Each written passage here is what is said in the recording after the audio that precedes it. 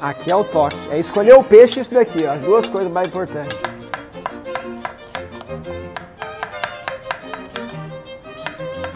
Ai! Mentira. O David Beckham que Faz, cozinha umas paradas. e a parte que joga pra cima o negócio. Um pouquinho de sal. Quer moer pimenta do reino? É chique.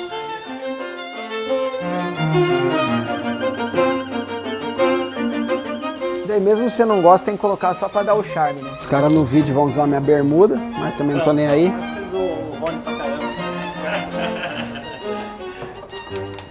Ah, mas o Rony se zoa, né? O que, que é esse negócio seu braço aí, velho?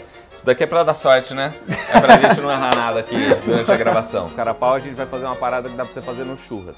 Daí o que eu queria te ensinar a mexer nos peixes. Demorou. Então eu vou fazer um, eu te mostro como faz, daí você faz o outro. Chefão, tô com você. Você vai sair daqui com uma outra mentalidade sobre cozinha. Mano, eu não gostava de cozinhar, mas eu vendo assim, ó, o bagulho é da hora, né?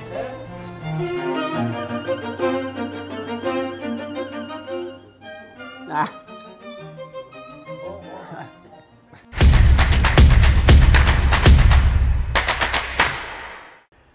Fala família Palmeiras, esse daqui é o primeiro episódio da série Veganismo. É esse o nome mesmo?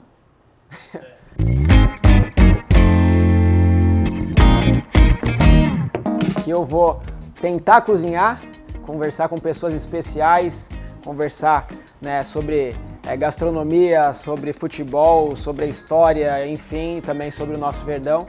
E hoje estou recebendo aqui um chefe renomadíssimo aí aqui em São Paulo, é, Adriano de Laurentes, Laurentes, mas tá Laurentes, tudo certo. boa. Obrigado por me do receber. restaurante Cais, aqui em São Paulo. A gente vai fazer o que hoje aqui, velho? Cara, eu trouxe dois tipos de peixe aqui para você aprender a brincar com eles. Isso daqui é um carapau, é um peixe azul.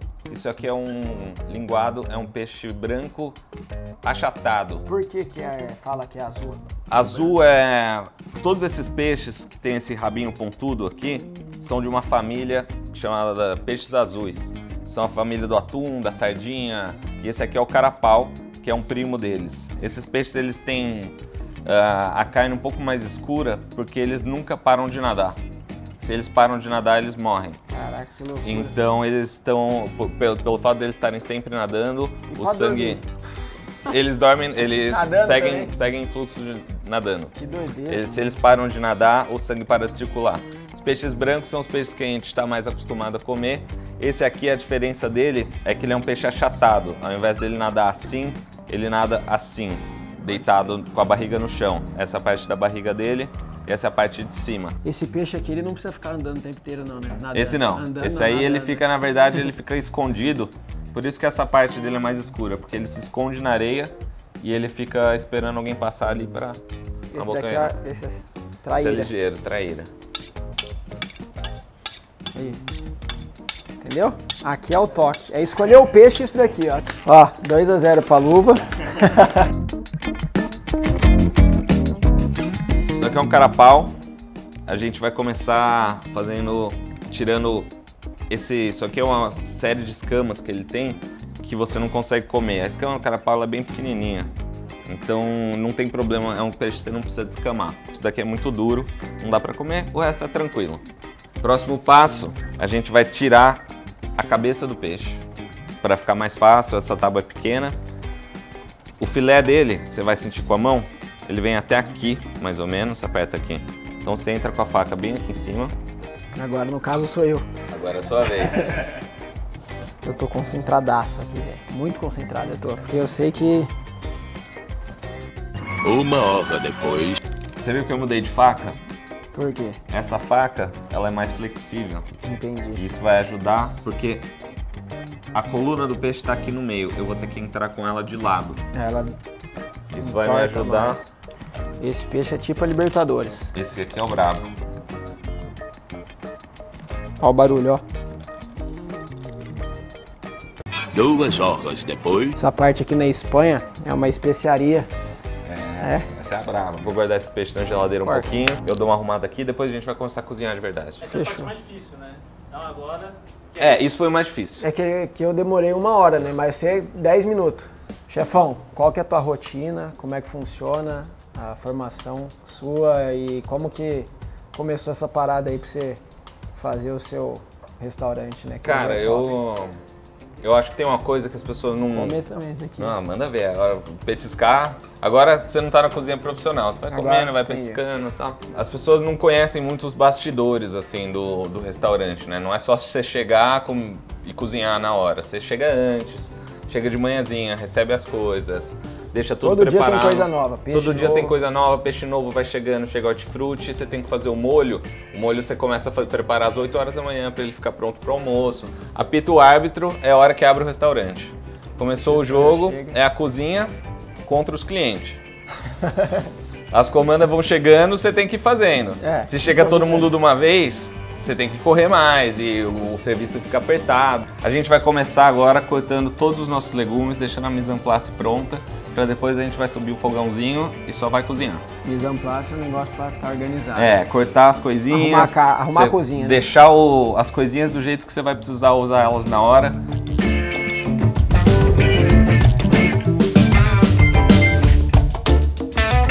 Aproveitando o nome do quadro veganismo, é um prato vegano.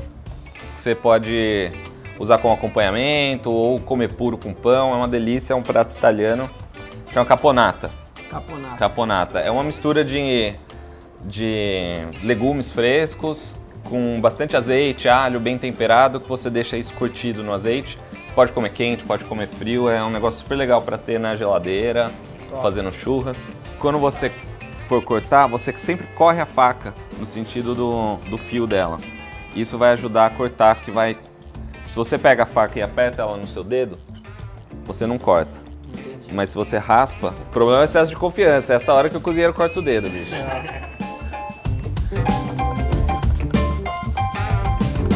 Cebola, a gente vai tirar essa pontinha dela. Cortou no meio. Tirou a casca. E agora a gente vai cortar o- esse corte que chama julienne, que é aquele Julienne. julienne. É aqueles bastõezinhos que eu, que eu fiz com a abobrinha. Nome de música A sertaneja. gente vai né? fazer, é.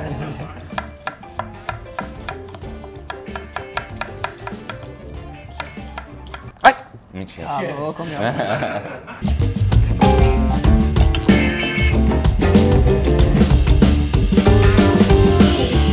Depois você me manda esse vídeo aí que eu vou tentar fazer de novo, hein? Colocar um pouquinho de azeite aqui. Só que esse barulho é o que você quer ouvir. Saindo bolinha quer dizer que a panela está suficientemente quente. Pegou as abobrinhas, daí você vai montando elas espalhadinho assim para todas ficarem em contato com, o- com a panela, não ficar sobreposta, senão ela não vai cozinhar direito.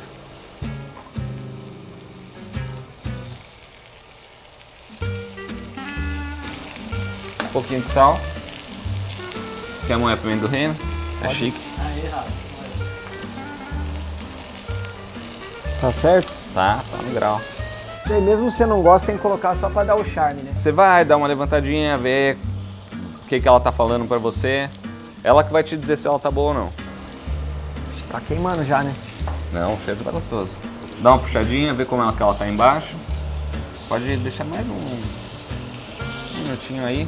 Aí, ó, você já pode já. começar a tirar. Eu vou ficar chato, hein? E a parte que joga pra cima o negócio. Mas Aí, tá bom?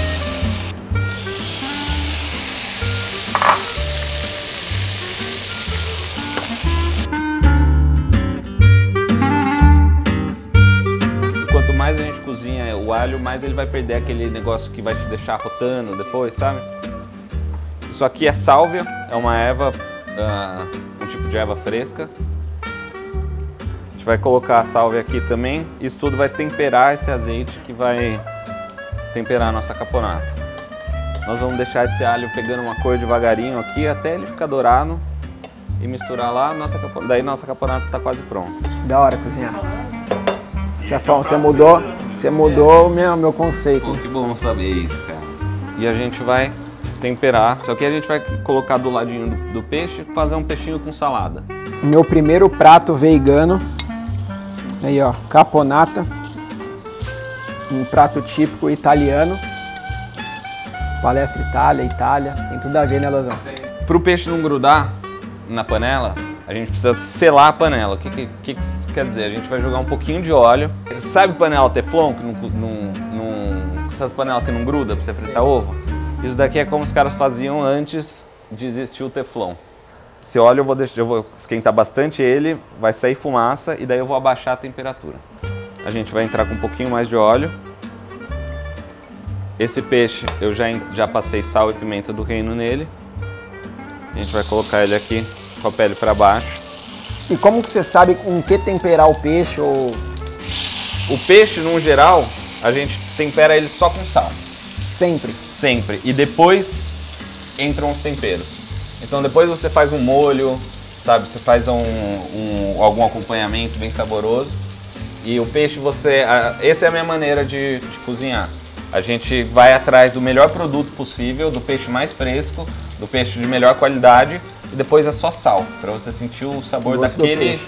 daquele peixe específico. Na dúvida, mete um limão e já era. né? Na dúvida, mete o limão a hora, a hora que sai, nunca antes. Por Sempre quê? depois que sai, porque o limão, o ácido dele começa a cozinhar a carne do peixe. Entendi. E aí é na hora que você jogar na, na panela, ele vai começar Vem a velho. O peixe ainda tá ah, rosadinho no meio, então vai demorar um pouquinho, uns 3, 4 minutinhos, a gente vai conseguir dar um ponto bem legal nesse peixe. Colocou aqui, nessa parte da sua boca é onde você tem mais sensibilidade para a temperatura no seu corpo. Rapaz. tá quente. Tá morninho? Tá. É isso daí. Tá indo, né, Chavão? Tá indo, é isso aí. Sei que você trouxe umas alcaparras. Alcaparras.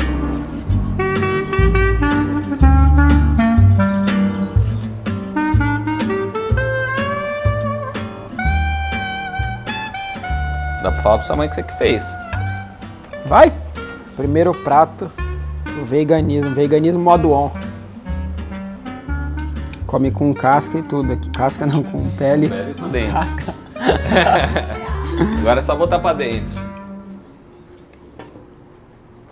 Rapaz.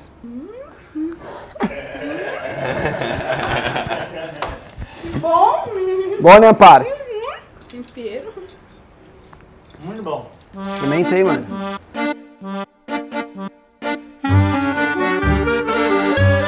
Agora a gente vai para um lado mais chique, a gente vai cozinhar com manteiga, um prato mais assim, ocasião especial. Você Chegar vai chegando. Chegar chegando. Então a gente vai começar, a gente tem um pouco de amêndoa laminada aqui. Que eu comi durante. Você a- comeu, é, a gente tem metade do que a gente tinha na hora que a gente começou, mas ainda tem bastante. A gente só vai dar uma tostadinha nela. O que que é esse prato? A gente vai pegar essas vagens, cozinhar elas na manteiga, separar. Com essa manteiga a gente vai fazer um molho, que se chama manteiga noisette. Noisette? Noisette. Ah, no azete. eu pensei que era Noisette no em, azeite. em francês, a gente faz essa piada toda vez na, na cozinha. Manteiga no azeite. É essa mesmo. Em francês significa ah, nozes mesmo, com cara de nozes, né? Entendi. E a o que isso quer dizer? A gente vai cozinhar essa manteiga até ela começar a escurecer. Dona Mirtz, tá vendo aí, né? Só coisa saudável, sem Nutella, sem esses negócios aí. Se quiser que eu faça no clube também, que agora eu já aprendi, desenrolo também Fazer pra rapaziada. É. Aí eu vou precisar de 16 funcionários. É. né? Aí eu vou ficar só aqui, ó. Sente o cheiro. Queimar a cara não, né? Isso aqui a gente vai deixar esfriando. Molho que eu te falei, a gente vai precisar de um pouco de manteiga. Eu pensei que era sorvete, de creme, mano. que tipo de manteiga que é essa, velho? Manteiga comum. Normal. Essa é uma manteiga comum com sal. A gente lá no restaurante compra direto da fazenda. E essa mesma manteiga que eu tô cozinhando a vagem vai ser o molho do nosso peixe. Só que é fácil de fazer e é super gostoso. E a sua nutricionista vai odiar. Então não, a Mirtz não... Esse aqui é só de final de semana. Tá chegando na cor que eu quero e ela tem que perder o gosto de verde, de verde cru. Se você pega ela, dobra e ela quebra, ela tá crua ainda. Se você dobra ela e ela não quebra, quer dizer que as fibras já estão um pouco mais cozidas. Você viu que eu não coloquei sal em nada até agora, porque como isso vai virar o nosso molho e vai cozinhar ainda, se eu salgar, pode ser que o molho fique salgado no final. Um pouquinho de sal e pimenta no peixe. Esse peixe está sem pele, então ele vai ser muito mais delicado. Para ajudar ele a não grudar, eu dou uma passadinha na farinha de trigo aqui, bem de leve, só para fazer essa capinha aqui. Isso vai ajudar o peixe a não grudar na hora que você colocar ele na panela. A manteiga está quente de novo, toma cuidado, você não vai se machucar, não vai se queimar. Como que você faz? Você coloca daqui para cá sempre. Começa por aqui coloca para cá. Se o óleo espirrar, ele espirra- para lá, não espirra para você. O peixinho já não grudou, deu uma mexidinha na panela, ele já está sambando aqui. Sinal de sucesso.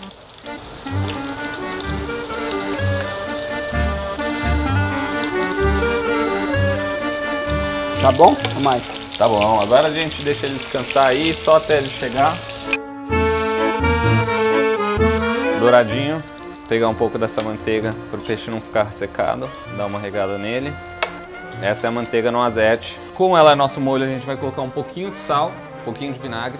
Isso vai. Sempre que você joga coisas líquidas em gordura, vai fazer essa- essas bolhas aqui, principalmente quando estiver quente. Então você tem que ir bem na manha, só umas gotinhas. Com a panela desligada, você pode jogar os cogumelos, que no calor que é que tá aqui na panela, eles já vão cozinhando, terminar de cozinhar.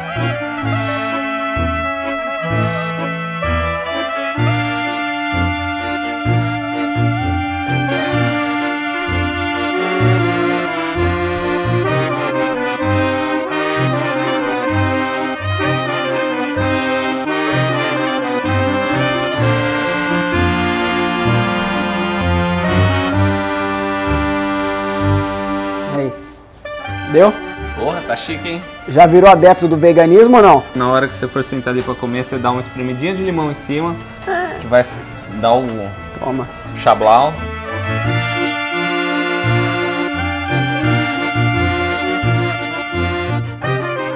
Ah,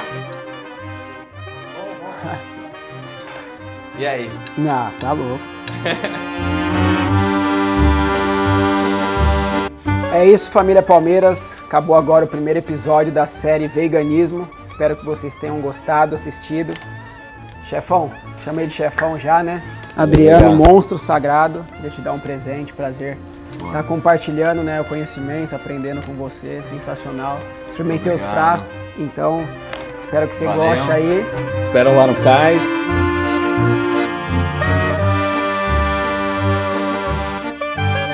Prazerzaço, Valeu. cara. Valeu, viu? Obrigado pelo convite. Valeu, é nóis.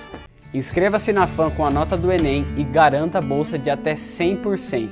Vem pra FAM, aqui o foco é você. Rumo a 2 milhões. Inscreva-se na TV Palmeiras. Se você não se inscreveu, tá esperando o quê? Rumo aos 2 milhões de inscritos. Rumo aos 2 milhões de inscritos. Contamos com você. Inscreva-se na TV Palmeiras.